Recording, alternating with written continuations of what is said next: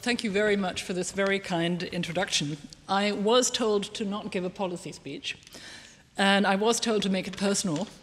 And that, of course, forced me to examine my own qualification, and that's why I called it Life Lessons from an Unreliable Source. Um, I have every reason to call it that. But, um, dear Helmut, dear members of the faculty, board members, ladies and gentlemen, uh, but above all, dear graduates of the Executive Master of Public Administration class of 2017, first things first, um, I offer you my warmest congratulations on your achievement and my very best wishes for the next steps in your career and life that lie ahead of you. You've put yourself, as I've seen, through a demanding course of study, culminating in a thesis. I've read the list of theses, sounded really interesting. And all this in a city and country that, for many of you, I gather, is not your home. And in fact, some of you have come from really far away, from Australia, Russia, Norway, even Switzerland. And, and I hope that all this gives you a huge and deserved surge of confidence and energy as you continue on your individual path. This is a big deal, and I say this also because when I went to law school, our certificates were mailed to us. Um, we never got pomp and circumstance, and I'm really impressed by this. Um, so thank you very much for let, letting me live through that vicariously, at least. Um, this happens to be the first time that I've been asked to give a commencement speech, and thinking about this, um, thinking about this long and hard and with some pain, um, led me to the shocking realization that my own commencement at Harvard will have been 30 years ago next year. Then I was 26, um, that means I must be 55 today.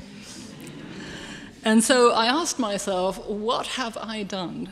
Uh, what have I learned in this time that I can possibly offer to you as an experience that could possibly be relevant and useful to you as you contemplate the life and the career that lies ahead of you in a world that is both more, much more connected and much more disruptive than mine was? And so I have decided to um, divide my talk into six lessons. Um, one longish, the other ones are going to be shorter, and the final ones will be quite short. My first lesson, uh, which strikes me as really important, given uh, the age that I've just revealed to you, is that aging sucks less than you may think. it's both a cliche and true to say that we are probably physically fitter than our parents and certainly our grandparents. The more interesting aspect, though, is what happens to our minds. Um, in all honesty, 30 years ago, the notion of experience was completely meaningless to me. I treated it with contempt. Today, of course, experience gives me background, context, filters. It helps distinguish what's important from what isn't, and simply put, one freaks out less. I used to freak, quite, freak out quite a lot in my 20s, and it's frankly a relief that this happens less than it used to. So, as I said, aging is better than you've been told. And for those of us who expect to adapt, learn new things, and shift gears throughout our lives, it, even, it isn't even all that important, honestly. You should understand, though, that the process of aging isn't linear. Profoundly shocking life experiences, what the poet Johann Wolfgang von Goethe in his theory of the novella called Die unerhörte Begebenheit, can throw you into a dark cave for years, and they can also light a clear flame in you. And in one of my favorite novellas of all, the, Die Marquise von O by Heinrich von Kleist, the heroine has to undergo a truly extraordinary test of character and fortitude. For any of you who haven't read it, please do read it. She passes this test, and as she leaves the place of her ordeal in a carriage, the story was published in 1808, Kleist says of her, durch diese schöne Anstrengung mit sich selbst bekannt gemacht, by this splendid effort revealed to herself, which I think is a lovely passage and tells you something about what that kind of experience may do to you. Nor, I have to tell you, does aging produce consistency, and I personally believe consistency is overrated. The older people I admire most are those who combine a mature judgment, youthful enthusiasm and curiosity, and a rather childish sense of humor. Minions, anyone? I like the Minions.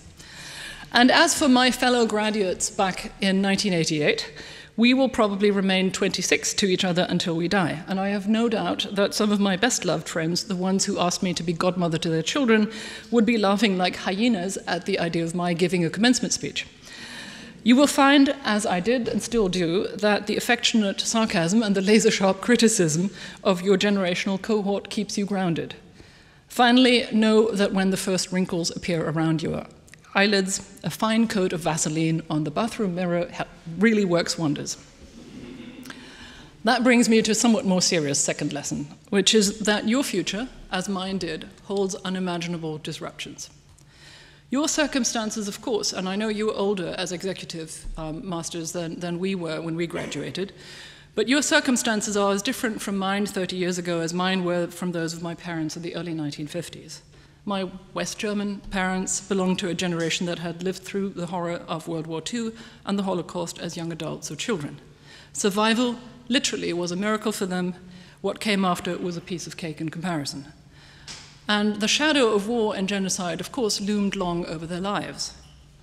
And the prospect of nuclear annihilation throughout the Cold War wasn't exactly cheerful. But they lived through the post war economic upspring, the creation of NATO and the EU, and saw the fall of the Berlin Wall in their later lives and the reunification of Europe. They had seen rather too much of history, of course, to buy Francis Fukuyama's theory that it was all going to be over in 1989. But for them, the post war era, up to the very end of their lives, was one of ever increasing optimism. As for us 20 somethings in the mid 1980s, compared to your much globally traveled and connected generation, we were hopelessly provincial. To begin with, there were no public policy schools in Germany at the time. Um, and I frankly think it's wonderful that schools like the Hertie School and some others exist. This was something that was direly needed, and it's a remarkable achievement that we now have this. My law school teachers at the time explained that the law would prepare us for anything and everything, and if you had to do something more shallow, you could always do economics. So, frankly, we left for America. The labor market, as I was saying to one of you earlier as we were waiting for pomp and circumstance, the labor market didn't want us anyway in the mid 80s. And in my case, as Helmut kindly said, I was lucky enough to get this fellowship to Harvard. And it's hard to comprehend today, and it's probably very hard for you to comprehend just how big a step that was.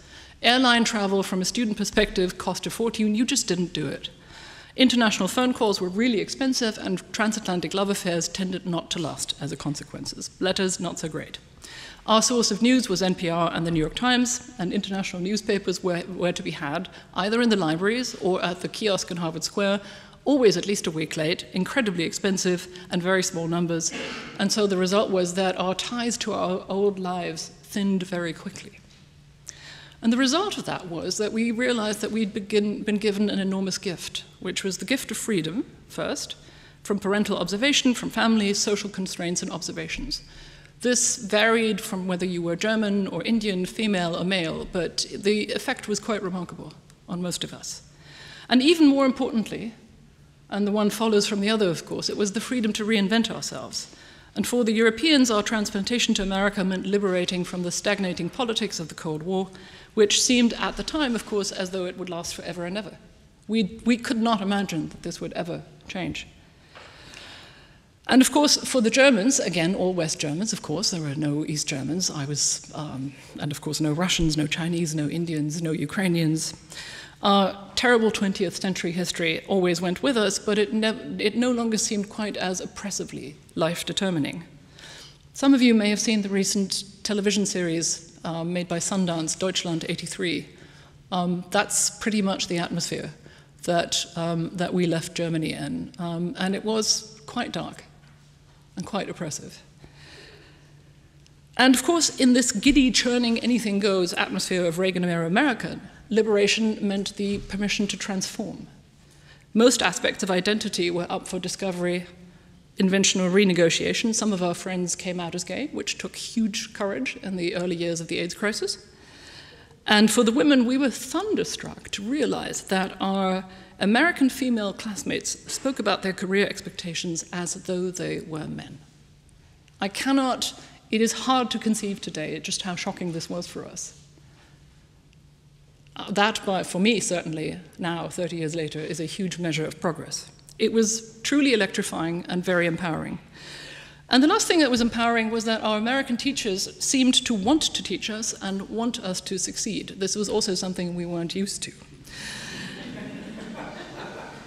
Judith Shklar, an eminent Harvard scholar of political philosophy, a Jew from Riga who had fled to America via Shanghai and Canada, and who was my most beloved and revered teacher, once said to me, Constanze, in German exams, they were trying to show you what you don't know. We here want to know what you do know. And I'm assuming, I'm hoping that was different for you here too, because things in Germany have changed too. Now, a lot of us at the time stayed in America because we didn't want to come back to America. Um, and I was thinking about it myself until one cold morning in November of 1989. I'd stayed on to write a doctoral thesis when everything changed. Friend of mine called me up and said, Turn on the TV. I did. And there were pictures of the wall and in grainy black and white, and people were dancing on it and waving champagne bottles. And I did something that profoundly surprised me because I had never given the wall much thought. To me, this was part of, part of the Cold War dispensation, part of the punishment for World War II and the Nazis and the Holocaust. I burst into tears. And I was back on a plane to Germany in December 5th, full of hope and excitement, and I wanted to be a part of this. And to me, one of the truly greatest things of my life is how much has changed in this town and the fact that we are now standing here in what used to be East Berlin. In front, and I'm standing in front of you, a class literally from all parts of the world, and that we can be here together. I, I still find that remarkable, and as you can see, it still chokes me up.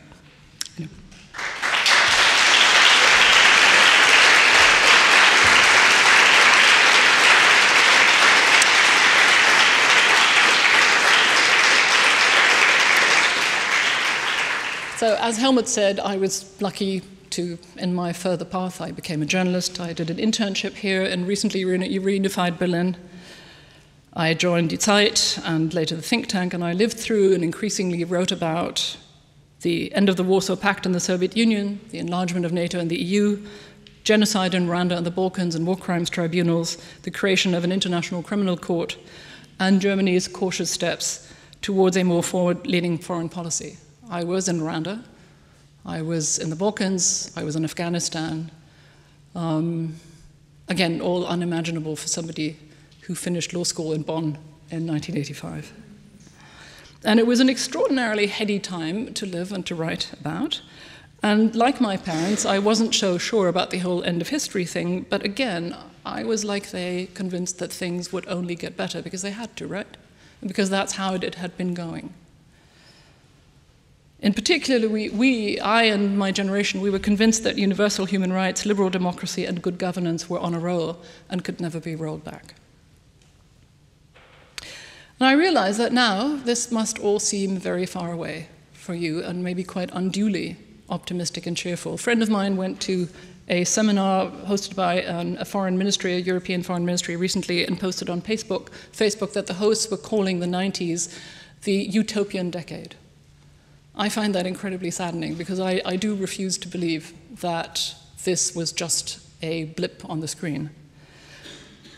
And I would say that you actually have some advantages that we didn't have, and that are enormous increases in freedom. Data, ideas, goods, and in fact, you yourselves are as mobile as no generation before you. You've already seen more of the world and worked in more places than we could have thought possible at your age. And if I'm not mistaken, you take entirely for granted that you and you alone decide who you are and that you can change your mind whenever you please, that identity is fluid, multiple, fungible, changeable over time. So to me, compared to us 30 years ago, you seem enviably free. Yet, you must be as aware as I am, or even more so, that at the same time, the political landscapes around us, domestic, European, transatlantic, and global, have darkened. The international order that my parents' generation created, which we inherited, appears to be under siege from all sides. American leadership of the free world is in question as never before, and it is being challenged aggressively by other powers. The transatlantic relationship, traditional bulwark of the West, is at issue on both sides of the Atlantic. And so is free trade and globalization. All things that I grew up believing were good and would be forever and worth cherishing and preserving. Europe itself is riven by political divides, north and south, and east and west, and more. And some European leaders, of course, openly doubt the validity and viability of the European project itself. Ivan Krastev, the Bulgarian intellectual, a friend of mine who spoke to the incoming class of Hertie students yesterday, has just um, is arguing in his new book, After Europe, that the migration crisis may in fact herald the disintegration of the European Union. And of course, we know that at home, populists and ethno nationalists, not just in America, are repudiating democracy itself, and with it, the most fundamental principles of Western constitutionalism, such as the separation of powers and the protection of minorities against the tyranny of, of the majority. For me, as a German of my generation, a German who was taught by emigre Jews in America, that is truly shocking. That is just about the worst thing I can think of. But even if the worst predictions that are currently somewhat en vogue fail to pass, so if winter doesn't come after all, one thing does seem absolutely certain to me, which is that my generation's blithe assumption that the Western model would somehow self replicate automatically all over the world because everybody would want to be like us has turned out to be incorrect. The future of the Western led order is literally open, and so is yours. In more ways, and more, more troubling ways, than was ever the case for us. So, how can you prepare, and what can I possibly tell you about this, for a life of disruption? And I think my third lesson then, this is where things get shorter, don't worry, don't just be consumers of fate. When I was your age, there was a widespread belief among my peers that we would be inheriting a world that others had designed. State institutions, the economy, society, all these were parts of a carefully calibrated system that we would somehow have to learn how to operate and perhaps perform the odd repair job on. But we thought it would essentially maintain itself, and we would never ever be asked to redesign it. Now, of course, the fall of the war in 1989 blew a fairly large hole into this assumption. But your generation will have to adapt and indeed invent on a broader scale than any other generation before you. And I'm not suggesting, of course, that you throw everything overboard. Human rights, the vote, independent courts, alliances of Western democracies, none of this should be up for disposal, and it's in fact worth fighting for, and I hope you may never have to. But the digitalization of every aspect of our lives has consequences for the functioning of the state, for the future of work, for democratic participation in ways that we've only just begun to understand. And the work of adaptation still lies before us. And of course, globalization and integration will remain with us, contra- contrary to what the Nigel Farages and the Stephen Bannons of this world believe. They're facts of life. They're not a wrong ideology, a false, uh, false consciousness, as they used to say in the 60s, or, God forbid, fake news. But we do need to do much better at distributing their benefits and burdens equitably and at, and at protecting the weak and the disadvantaged from their impact. Arguably, today's populist surges are punishments for our failure to do so until now, and this is a task that lies before you. So, in sum, you will have to be citizens rather than just consumers, architects rather than just repairmen. And that brings me to my fourth lesson, which is to embrace your own personal disruptions. Now, you, because you've already worked, because you've written CVs and rewritten them, you will know that as we work through our lives, we tend to rewrite our stories as a compelling linear narrative of seamless upward progress, just like history, right? Most professional CVs bear very eloquent testimony to this creative editing process. And in fact, most of us actually believe ourselves when we do this. And let me tell you, and if I didn't tell you, my friends would, that my life path since graduation has been more often than not shaped by ignorance, naivete, luck, and chutzpah. Sometimes I only found that out afterwards, and there are phases that I remember with sadness and regret. I owe a great deal to the kindness and the forbearance of others, and if it happens to you, recognize it, be grateful for it, and remember to pass it on.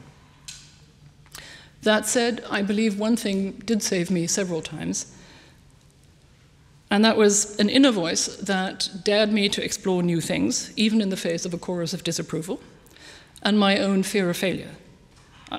As you've heard, I've trained in the law, then did a public policy master, then wrote a doctoral thesis, then did a journalistic internship, then joined a weekly paper, and then left it for an American think tank.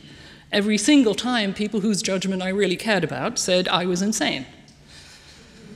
And I did it anyway, but at the same time, I was terrified they might be right, and of course, I had no way of knowing that they were not. Some of my new beginnings were really, really hard. And there were long stretches where I was pretty sure that the people who said I was insane were actually sadly right. But it's worked out. Some of you may have seen the 2014 Richard Linklater movie Boyhood. Um, it follows its central character from childhood into adult life and was filmed over the course of 12 years in real time. And in one really memorable scene near the end, the boy's mother, played by Patricia Arquette, downsizes her household after both her children have moved out. And as she packs her boxes, she says, in a mixture of tears and bewilderment, I thought there would be more. And that scene has stayed with me, but it's actually not a feeling that I share. And nor should you. Live in such a way that you won't. Listen to that inner voice, summon that inner strength, face your fear, and dare to follow your interest, and if it all goes wrong, at least you will have owned your mistake. That brings me to my last two very short lessons. Lesson five Beware people who don't have a sense of humor. People who know what's funny usually can be trusted to know what isn't. And I mean that very seriously. Lesson six, and there's a reason why I say this be kind. Political correctness is tedious, yes, but it will not have escaped you that in these disruptive times a new cruelty is returning to public discourse. Fight it wherever you can. And that's my last word to you. Thank you very much for your attention.